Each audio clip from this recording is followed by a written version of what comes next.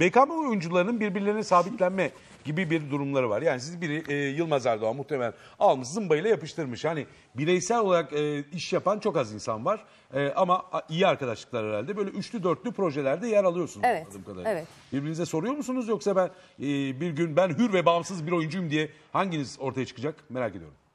Yani hepimizin aslında öyle bir şey yok. Hepimiz hür ve bağımsızız ama e, Ama bir BKM'den de var. a- ayrılmadık yani. Orası e, aile gibiyiz biz orada. Yani Ya Yılmaz her Erdoğan zaman bizim Tabii ustamız. ki ustalarımıza zaten Ee, danışıyoruz.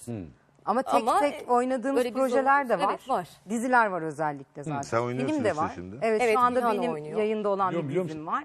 Ee, Şahin'in Büşra oynadı. e, Büşra oynadı.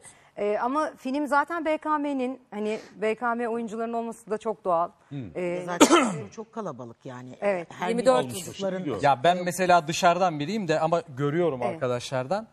Diğer arkadaşlardan da görüyorum mutfağın diğer ekibinden de. Ait olma e, durumu çok Evet. önemli. Yani e, dışarıda da iş yapsalar e, gidecekleri her zaman gidecekleri bir yeri olduğunu biliyorlar. Ya hayır, çok bir önemli. O- Voltran o oluşturma çok güzel var bir ya. şey yani. Çocuklar hemen bir Voltran oluşturalım. hepimiz- Dendiği zaman oluşturuluyor Evet, anladığım evet. kadarıyla. hepimiz birbirimize mutlaka gelen teklifleri e, hemen telefon açar. söyleriz. Birbirimize sorarız. Şuradan şu geldi senaryoyu mutlaka oku diye bütün arkadaşlarım gönderirler. Senden önce gidip ben önce senaryoyu okurum.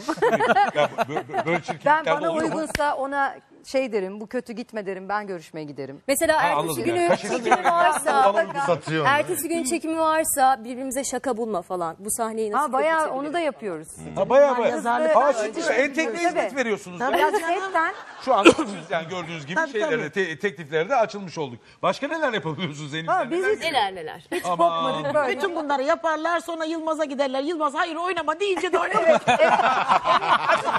evet. o da doğru.